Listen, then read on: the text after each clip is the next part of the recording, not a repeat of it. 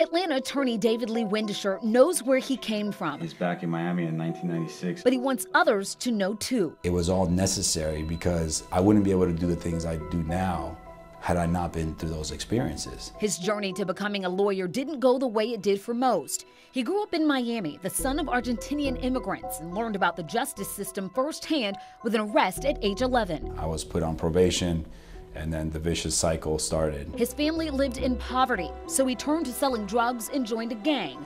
At 16, he dropped out of school, and by the time he hit 19, he'd racked up 13 arrests. You can name it, I got charged with it.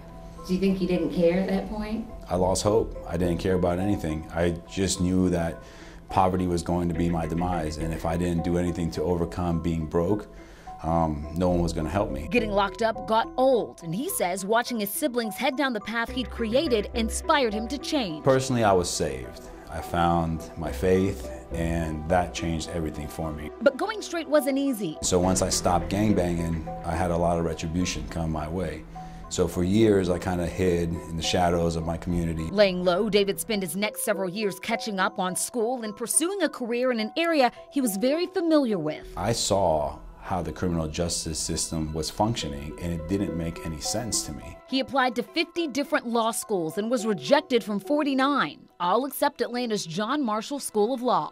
Now a licensed attorney in Georgia and Florida, David has found a way to pursue his own American dream by pulling himself up and reaching back for others. So the goal is to understand who you are, what you want to become. David created RED, Rehabilitation Enables Dreams, a nonprofit organization meant to help young nonviolent offenders.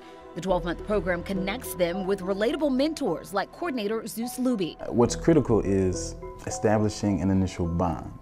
And so to do that, one must create a bridge of relatability to let them know and understand that there's somebody in the program that understands. Information is powerful. They work to build hope and confidence, offering civil, financial, and continuing education options, helping finding jobs and the possibility of a clean record when it's all said and done. You folks help me out, so they'll do the same for you. The program has helped dozens like Andre Jones. Mm, it's really like a motivator because I mean, a lot of people that we come in contact with, their stories are a lot worse than ours.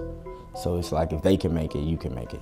A change inspired by David's story and his life's work. It's it's shocking to think that this is the this life that I'm living now started where it started. Jennifer Bellamy, 11 Alive News.